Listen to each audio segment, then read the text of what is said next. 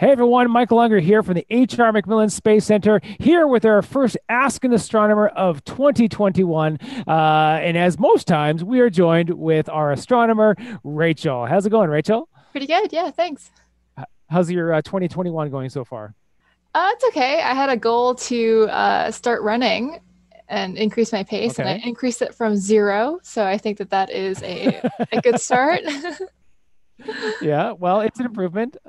I made a goal to uh, get rid of the moths that are in my house that uh, chewed oh. up all of my sweaters uh, because I don't normally wear sweaters. And all of a sudden, mm. let's uh, eat some, let's um, wear some sweaters, getting a little bit chilly, and then they're all eaten by moths. So I, took a uh, I took some cleaning to, to, task over top the holidays to get rid of those. Uh, but we are here for the next half an hour to get into our top ten stories to look forward to in 2021. Now, of course, uh, like everything in the universe, sometimes we have surprises. Last year we had a comet uh, that uh, took us by surprise. Uh, but at this moment, we can anticipate what we think might be the top 10 stories. And we have um, a great uh, list uh, ready for you today. thank you so much for joining us on YouTube Live. if you are here, let us know where you're watching in the chat. And as we go through, if you have any questions, questions, throw them into the chat. We will answer them live. Uh, and of course, if you want to get into any of the topics besides the ones that we're talking about, we'll get into those too. Uh, this next half hour, we are here for you. Uh, so, Rachel, uh, let's get started uh, with our top 10. Uh, are they like in chronological order or are they in like an order of your favorites? Order of my favorites. So, and what I'm most excited about for sure. Okay, well let's yeah. let's let's start then with your most anticipated story of 2021. Sure. And that just happens to be the Mars arrivals that are all happening in February. It's a very exciting time. And so three robots are expected to land on Mars. Why are they all arriving at the same time? It's because there's this really special window where it costs the least amount of fuel and the least amount of money, coincidentally, to fly anything from Earth to Mars. And that happens once every 26 months. So we have a lot of space agencies trying to capitalize on that. And so for the first time, because these are all arriving at the same time, we'll have China, Europe, Russia, and the US could all have vehicles operating at the, on the red planet all simultaneously, all at once, which is pretty cool. But landing on Mars is very challenging. Only about 40% of the missions ever sent to Mars by any space agency has been successful. So we'll see how many uh, end up making it there. So on the left here, we have Perseverance. It's the fifth rover to attempt a Mars landing, and it'll touch down on February 18th, just after noon. And during the landing, the rover will pass through the very thin Martian atmosphere. It has a heat shield to protect it, and it'll be entering at a speed of 20,000 kilometers per hour. And because it's so fast, it does have a parachute to slow it down and it also has a very large sky crane that will lower the rover onto the surface. So I showed I'm showing a Curiosity sky crane. So the same thing's going to happen with Perseverance being lowered to uh, the surface, and it's going to land in the same place in the Jezero crater. And then in the middle here we have uh, the Hope orbiter. So when it gets there, the team selected science instruments for a very special orbit that would help paint a more comprehensive picture of the Martian atmosphere. And because it's had such a wide and kind of elliptical and distant trajectory, the probe will be the first to be able to study the weather cycles and variation over many different geographic areas on Mars. And so the team is hoping that this orbiter, this HOPE orbiter, will be the first true weather satellite on Mars. And on the right here, we have the Tianwen rover, which will arrive as well. It'll have cameras and instruments for studying Mars's climate and geology, and even an instrument to zap rocks and record the resulting chemical signatures, just like Curiosity and Perseverance have. And it also has a radar, which works by shooting radio waves into the surface, measuring the reflection times of what happens, and that gives a scientist a 3D picture of what's going on underneath. So I think it's pretty cool. Now, are the Perseverance rover and the Tianwen rover are they going to be landing in uh, similar areas on Mars? Are they going to be close together? That's a great question. So here we have the landing sites, uh, and the Perseverance rover, and the, they're here um, up in the right uh, in yellow. So they're quite close together.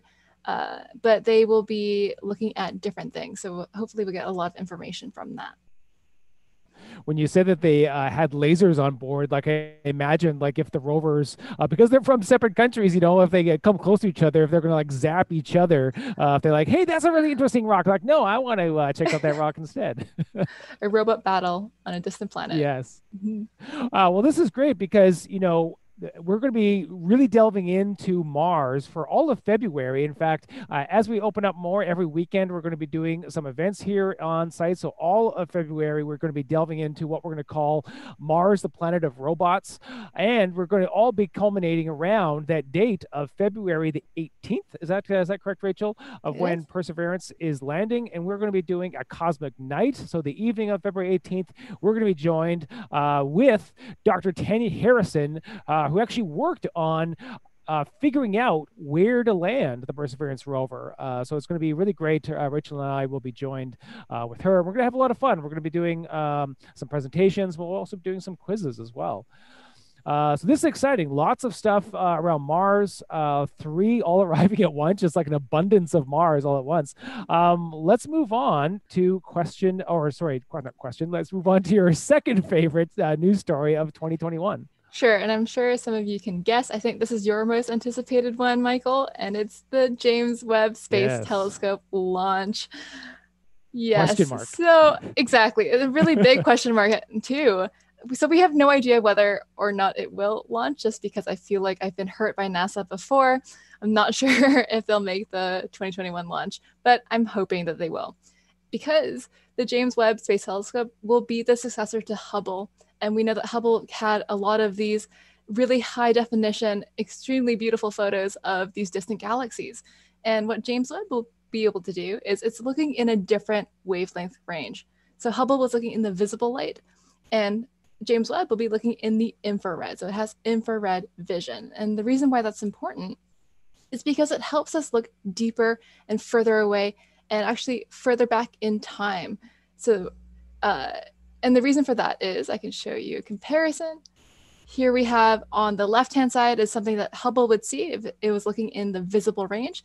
And on the right-hand side, we have the infrared view that James Webb would have. And you'll notice that there's a lot more stars here. And that's because the infrared allows James Webb to look right through all this dust and gases in the way that would have obscured it for a telescope like Hubble. Yeah, it's really interesting because I think there's a, a bit of a perception, you know, when you think about, you know, how James Webb is not going to be seeing the way that Hubble sees. And we are so used, I think, to seeing these beautiful pictures like we see on the left there of just all the different colors and the, the dynamism of, of what's going on inside of this nebula. And on the right, you know, now I'm looking at it now, I'm like, wow, it's even more captivating because of all the stars that we don't see over there on the left. Mm-hmm, yeah, I'm really excited to see what kind of images uh, James Webb is going to give us. Awesome. Uh, so yes, we got tons of people watching, uh, mostly from Vancouver. Got also got some from Calgary as well. So welcome everyone. If you have any questions about anything, uh, please put it into the chat. So James Webb, uh, a spooky uh, launch on October 31st, hopefully of 2020. Let's move on to your number three top story of 2021. Sure and that is CAPSTONE, which stands for a very long name. It's Cislunar Autonomous Positioning System Technology Operations and Navigation Experiment. I wrote that down because I could not remember it, um, but it's quite long. But CAPSTONE is a planned lunar orbiter that will test and verify the calculated orbital stability that's planned for the Lunar Gateway space station. Lunar Gateway, if you haven't heard of it, is basically the ISS but orbiting around the moon and it'll orbit for at least six months to demonstrate that this orbit is stable and it's safe and it'll test communications with earth as well. And it's because it has this really special orbit and you'll see that it looks a little weird. It looks very very elliptical and there, there's a special reason for this. So this orbit is known as a halo orbit and for capstone and eventually the lunar gateway it'll travel from its closest position to the moon, so up on the top here at 1600 kilometers, and to a distant uh, 70,000 kilometers here on the bottom. So Capstone will be a very good example of how to transition and operate from this really weird looking orbit. And it's really necessary for not only when we're constructing the gateway, but also for later logistics for moving and transferring crews and supplies. And it's weird looking because this gives us better communication with the Lunar Gateway. So you'll see that um, Earth in the background there, we are always in contact with Capstone or with the Lunar Gateway as it's going around. And it just so happens that this orbit is the uh, the prime spot for Earth and Moon, their gravity to balance out. And this is uh, really exciting for Canadians because just at the end of last year, uh, the Canadian Space Agency announced that they had a new partnership with NASA to be part of the Lunar Gateway project. We're going to be building Canada Arm 3, uh, and uh, that's a big uh, uh, source of pride for us Canadians that we have that Canadarm uh, that was on our money. So we're going to put a third Canada arm on the space station, and that means that we also get to and Canadian astronauts as well. Uh, so that's going to be really exciting. On to Lunar Gateway, uh, as well as potentially on the surface. And just looking at this uh, GIF of the orbit, I'm now realizing that those astronauts, as they board the Lunar Gateway, they will be the furthest humans away from the Earth because back in the Apollo days, they just orbit around the moon in a very sort of like a much tighter orbit. But this is a much uh, more elliptical orbit, which means they'll be further than any humans have ever been before. That's interesting that you point that out. Yeah. And I also like to think that we have the first Canadian that's going to orbit the moon as well. Absolutely. Uh, let's move on to your number four top story. Sure, and this is a fun one. So this is called DART, and it's a planetary defense test of technologies for preventing an impact of Earth by a hazardous asteroid. So DART will be the first demonstration of what they call a kinetic impactor technique to change the motion of an asteroid in space. And what that really means is that they're going to fly this spacecraft and smash it into an asteroid and see if it moves and changes course. So the DART spacecraft is going to deliberately launch itself at approximately seven kilometers per second into this rock. And with the aid of an onboard camera known as Draco and autonomous navigation software, it'll be able to change the asteroid in its orbit by a fraction of 1%. So it's not uh, a lot, but it does change the orbital period. So the orbital period of the asteroid is changed by several minutes, even though the deflection is only uh, a fraction of 1%. And because the orbital period differs so much, we can actually observe it and measure it using telescopes on Earth. So it won't do much, but it will do enough. Yeah, and I think this is uh, what we call the Armageddon technique, uh, the uh, sci-fi film uh, where they sent up, but there they sent up a, a bomb to uh, blow up the inside uh, of the asteroid. And here we're just flying a spacecraft, smashing into it, hoping to redirect it. So not blow it up, just nudge it a bit so that it misses Earth, right? Yes, and I would love to know or see when they were coming up with this plan and they were like, sitting at a table and being like, "Ha, this is the, this is the solution. Let's just smash something into it." I always like to think of this as like a, like a pool table. I grew up uh, playing uh, billiards a lot uh, and seeing balls sort of like smash into each other and roll into each other. Um, you know, I see the solar system as kind of being uh, a big pool table just with no friction. Let's move on to our number five story, uh, your favorite story of 2021. Here we go. And it's Lucy. Lucy is the first space mission to explore a population of small bodies known as Trojan asteroids. And you see them here in green on the left hand side. Now, these Trojans are essentially like time capsules from the birth of our solar system more than 4 billion years ago. And they're thought to be remnants of primordial material that formed the outer planets, so right at the beginning of our solar system. And it'll launch in October 2021 with boosts from Earth's gravity it'll have it'll go on a 12 year journey to eight different asteroids. It'll go visit a main belt asteroid and seven Trojans, and four of which are members of what I'm going to call a kind of two for one binary system because they're all um, stuck in this binary orbit. And the spacecraft's orbital path is shown here in red. And what Lucy's going to do, it's going to study the surface geology, the color and composition, and the interior and general properties of the Trojans, and also look for rings and satellites around them. But at this point, you're probably wondering what is a Trojan exactly? so it's the, it's those it's those uh, people with the funny hats, right? not quite. You're not close at all. so they're different from regular asteroids because these are asteroids that are in our solar system that orbit the sun in front of and behind our gas giant Jupiter and at the same distance from the sun as Jupiter. So you see these here in green and in the bottom it's in white. And the gas giant is massive enough that normally it scatters away all these asteroids in its vicinity, but because of the very special combined gravitational influences of the Sun and Jupiter, these Trojan asteroids have been trapped in stable orbits and we call them Lagrange points. So it's almost like they're stuck in a well and they can't get out. Mm.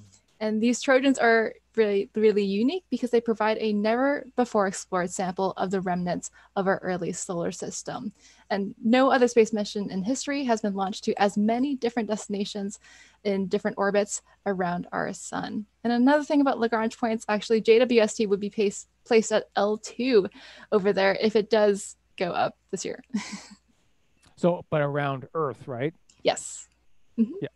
Uh, so these and these Trojan asteroids, like they're fairly new. Like we didn't, we, we sort of thought of them as all being part of the asteroid belt, but their their concept is is fairly new, right? Yeah. So that term popped up. Um, I'm gonna say for me, it was not that long ago, but uh, it's it would be hard to tell, right? Because the the main belt asteroid belt or the asteroid belt is between Mars and Jupiter. So having just a population that seems to be going the same direction would be hard to mm-hmm. differentiate. Mm-hmm. Yeah, it's interesting that our view of the solar system has changed, you know, so much since I went to I went to school. Things were so much simpler now. We just had we had asteroids. Now, even inside of the asteroid belt, there's different categories. Um, and uh, if anyone out there watches The Expanse, you know that there's lots to explore once you get out into that region of space. Uh, so Trojan asteroids, Lucy mission. Uh, excited for that. Let's move on to your next top story of 2021. Sure. It's funny that you mentioned The Expanse because I just started watching it actually. I'm finishing up season four. I'm just catching up. It's very good. Um, no, sp- no spoilers, anyone, because no. I'm still haven't. Uh, I still haven't started watching. I was waiting for it to end, and then I'm going mm-hmm. to try to binge it all. Mm-hmm. and so, speaking of learning new things about what we thought we knew a lot about, here is the Chandrayaan 3 mission from the Indian Space Research Organization, or ISRO. And it's the third lunar exploration mission from this agency and it's following Chandrayaan 2, where a hiccup in communication resulted in a failed landing attempt. So this is a repeat mission that will demonstrate a soft land soft landing attempt that will include a lander and a rover, but it won't have an orbiter like the previous mission did. And they plan to land on the south pole of the moon, which was the previous spacecraft target destination, so the same place. And the scientific goals are pretty much the same. They aim to demonstrate that soft landing, operate the rover on the surface, and in terms of research, they're hoping to study the lunar topographies, so the physical features on the surface, mineralogy, elemental abundance, the exosphere, and signatures of hydroxyl and water ice. So, if successful, the ISRO will be the world's fourth space agency to conduct a soft lunar landing after the former USSR, NASA, and CNSA.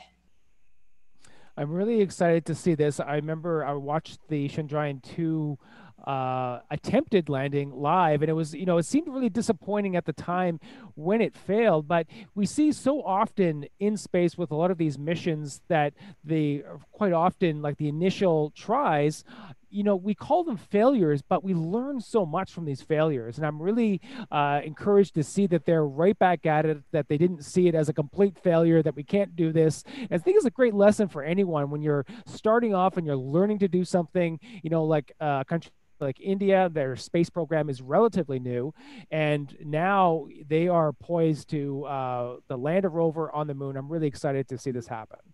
Me too. And it's difficult landing on a distant moon or a distant planet. Absolutely. Uh, let's move on to our number seven story of 2021. Sure. So this is the Chinese Large Modular Space Station. Modular, as in it's basically the same as the ISS, and that it's basically a gigantic Lego set that we assemble up in space. So it's a planned space station that'll be placed in low Earth orbit, and it's roughly around one fifth the mass of the ISS, a little bit smaller. And the hope is that research conducted on this new station will improve their ability to conduct experiments in space beyond the current capabilities offered by China's currently existing space laboratories. And the construction of the space station is part of the third phase of the Tiangong program and is scheduled to be completed sometime before 2022. So first generation space stations like Skylab, uh, Skylab, like I have here on the right, were single piece stations and not designed for resupply. And then we have second generation stations like Tiangong 1 and 2 are designed for mid mid missions resupply. So we see that here on the bottom right. But third generation stations like the ISS and like this space station, they are assembled on orbit from pieces that were launched separately. And so this type of modular design is really good because it helps improve reliability, reduces costs, it shortens the development cycle, and also allows for more diversified tasks. Yeah, and more than ever, the past couple years, seeing the international presence now in space is just uh, paramount. You know, mm-hmm. China, India, the European Space Agency, uh, along with NASA. This is incredible, and, it, and even looking forward to that expanse future. You know, uh, in that future, everyone is it's earthlings and then it's the martians and then it's the belters right so mm-hmm. um but getting there to that step of all of us on this planet going out into space and calling us all earthlings is a little bit ways away. We're still you know segmented. We're still in different um, in different countries. But getting to that point we're all collaborating together. This is a, a great first step and i'm really excited to see uh, the future of international space collaboration. Our first question actually let's stay on this uh, chinese uh, space station. So, first question from Charlie is asking Have they uh, sent up any of the first pieces of the space station yet, or is this the, the first uh, iteration uh, that they're going to be sending up later this year? I believe it's the first iteration. I don't think that they've sent anything up quite yet, which is why we see the artist rendition here and not a, uh, a photograph of what it looks like. But I imagine that they would send maybe one or two of the modular pieces first and not send all of it all, all at once, just to see if it operates okay in space. right, absolutely. Uh, let's move on to our top uh, or number eight story of 2021. So this is a total eclipse that's going to happen, and it's viewable from Vancouver, so that's always good. So total eclipses of the moon happen at a full moon when the sun, earth, and moon are aligned to form a line. There's a special astronomical term for it, and it's called a syzygy, and I love that word, and I think it's very great for trivia and it comes from the Greek word of being paired together. So during a total lunar eclipse, the Earth comes between the sun and the moon and blocks any direct sunlight from reaching the moon. So you can see that here in the bottom right. The sun casts the Earth's shadow onto the moon's surface and it looks dark. So that's a lunar eclipse. So to see the lunar eclipse from Vancouver, you'll want to look close to the horizon early in the morning, 4 a.m., and toward the southwest. And you might have heard of this kind of moon being called a blood moon because it has a reddish color. And that's caused by Earth completely blocking out direct sunlight from reaching the moon. And the only light that is there is light that's reflected off a lunar surface and has been refracted and changed a little bit by our atmosphere. So the light appears reddish for the same reason that a sunrise or sunset would appear red. Awesome. Yeah. Uh, 4 a.m. might be a little bit too early for me, but you know what? Every time that I have actually done it, uh, I really enjoy the view that Blood Red Moon is just, it's spooky, but it's just, it reminds you that you know that we're on a planet you know like we kind of forget the sunrise it becomes uh, the moonrise becomes so normal and we get uh, used to it. But when we see a total solar eclipse and that moon turn you know red it really reminds you that we are moving through space and uh, it's a really wonderful grounding uh, as i like to uh, as i like to say. Let's go back to the chinese space station because we had a question about um, you know the the chinese space agency. Mm-hmm. so is that just china that's working on that or are they collaborating with anyone else it's just China because uh, the CNSA and other space agencies ha- kind of have a kerfuffle, and that involves the ISS. And actually, the CNSA has publicly announced that they do want to work with NASA and other agencies on things like the ISS in the future. So it'll be exciting to see all of our space agencies come together and work truly globally. Yeah, And you know what? You know, space agencies like classically are bipartisan. And it's I find it really interesting because like the people that work at NASA, the people that work at the Canadian Space Agency, the people that probably work um, for the Chinese Space Agency, they're very kind of like apolitical because they know that what the work that they're doing will continue no matter kind of like who is in government. And I uh, find it really um, encouraging because those are also the people that are collaborating with each other. And uh, this really sort of like gives you a very sort of a global uh, view. Like, well, let's all work together in space, and let's all let's, let's forget about the politics for now, and hopefully we can use space to kind of bring us all together. That's the beauty of science, right? Like just learning and sharing what we learn. Yeah. Uh, let's move on. Uh, number eight was our lunar eclipse. So number nine. So I'm actually going to do nine and 10 together uh, because they're talking both about solar eclipses. So a solar eclipse always occurs about two weeks before or after a lunar eclipse. So they come in pairs. So usually there's two eclipses in a row, one being lunar, one being solar, but sometimes you can have three during the same eclipse season. And this is because we get eclipses when the Earth, Moon, Sun system are in a very special particular alignment. So when the moon is in this perfect place. The next one will appear in about two weeks because it's in, it just so happens to be in the right plane, in the right place for that to happen. And the next solar eclipse is happening on June 10th, and it's visible from eastern Canada. And we call it an annular solar eclipse. And that's because the moon is too far away to completely cover up the sun's disk, leaving the sun's visible outer edges to form a sort of ring or fire or annulus around the moon. You see that here on the left hand side. And the it's next kind of like a big yeah. ring light. It is, yeah. it's kind of ominous, isn't it? Yeah. Hmm, most of your sun missing. But the next total solar eclipse is on December 4th, and it's different from an annular eclipse in that the sun's disk is fully obscured by the moon, but that is visible from Antarctica. So unless you'd like to go uh, visit visit Antarctica, it's a little bit hard to see. Uh, so for here in Vancouver, the solar eclipses are not going to be a thing. But of course, we have uh, people watching from all over the world, maybe even from Antarctica. Who knows? Uh, so if you are, definitely check those out. All right, uh, we have our top 10 stories of 2021. If you have any questions about any of that, uh, we have about uh, just a few more minutes left. But we have one bonus story that I got really excited and sent to you, Rachel.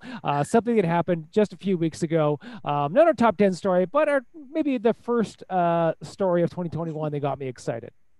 I wanted to put this first because I am very excited for this. Um, but what it is is it's space wine. So there was a company that sent a bunch of bottles of wine up into the ISS to be orbiting orbiting around the Earth for one year, and so they're just going to come down um, soon. And they wanted to see the effects of what being in space for a year would be on wine. And the reason for that is because they are looking at uh, improving agriculture. So, because of climate change happening here on Earth, plants on Earth will have to adapt to harsher and harsher conditions.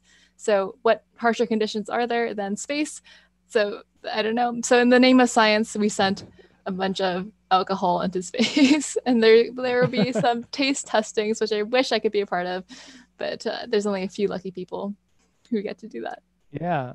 It's really interesting thinking of you know what climate change is going to do to a lot of uh, crops, including wine. You know, mm-hmm. places like France uh, and like California. You know that you know it's probably good news for us in British Columbia. Maybe you know uh, places, uh, maybe even in northern British Columbia, might actually start to become uh, wine regions. Mm-hmm. Uh, but of course, space is always a great place to, to test this all out. and this is making me thirsty. So hopefully we can we can share a wine together sometime soon, Rachel. That'd be nice. um, so great. Uh, thanks so much uh, for everyone for joining us here on our first Ask an Astronomer of the year. We will be back in two weeks, so on the 28th, January 28th. But if you go to our website, we are now open in some capacity. Our planetarium and science theaters aren't open quite yet, but if you go to our website, uh, you will see um, you can buy a ticket and you can come and visit us. Uh, we have our observatory open. We have some live demonstrations and our gallery. And so that's every weekend. And then going into February, we've got lots of really fun events. February 10th is Space Debris Day. Uh, and if you don't know what Space Debris Day, check it out, is when we're talking all about orbiting satellites, lots of stuff that's flying around uh, in space. So that is going to be a wonderful panel that we're going to have on February 10th. February 14th is Valentine's Day. So we're going to have an, another online event uh, all about um, being at home in space and the theme of connection. And there's going to have a really special uh, opportunity. If you want to shout somebody out that you missed uh, over this past year or so, you can send us an email, tell us who you'd like to dedicate a star to, and Rachel and I will find a star and we'll talk about it. We'll fly to it uh, during the program. It's going to be really fun. Uh, we're going to geek out as well with some trivia and giveaway prizes. So that's on February 14th. And of course, like I mentioned, February 18th is our Cosmic Night. Cosmic Night all about perseverance going to Mars. Uh, well, Rachel, uh, great to see you again. I will see you in two weeks for everyone for out sure. there in YouTube land. See you then as well.